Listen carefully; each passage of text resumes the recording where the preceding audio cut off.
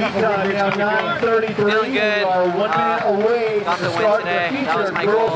I knew it'd be tough. There's always some good guys in this race, but I knew I had the strength to do the it. Bob Day Been working race hard, and I just ran annual from the front and kept pushing when I felt like presented people by started to Woodbridge get High School and Northwood High School, Woodbridge being so sponsored flat, by Did you have a real strategy coming into today, or was it just kind of go out?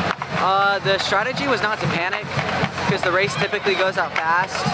Um, and I know since there's no hills, anybody can finish features up this 30 course. It's just about staying calm, 27 um, focusing on your breathing. And I mean, fortunately, this race didn't go out too fast anyway. I think it was like Katie 445 Engelhardt, about, just so a that was freshman right in my range. out of Ventura High School More than capable of in the running CIF that, so Southern Felt section. good going through the mile. How'd you like the weather? Do you like running on 59 the to pool? win the Cool Absolutely. Breeze Invitation I love cool on weather. Pasadena on the opening weekend Yeah, of the season. it's always nice.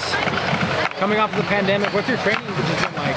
I never really slowed down in the pandemic. Fortunately, I got to use that to get really strong, as a lot of runners did. I believe that's why everybody's been running so fast lately. The pandemic was a really good opportunity to just get training in Division and rotate. This So year, coming off the pandemic, same thing. Only difference is I now get to train more with my team, and yeah, that's always a lot more motivating.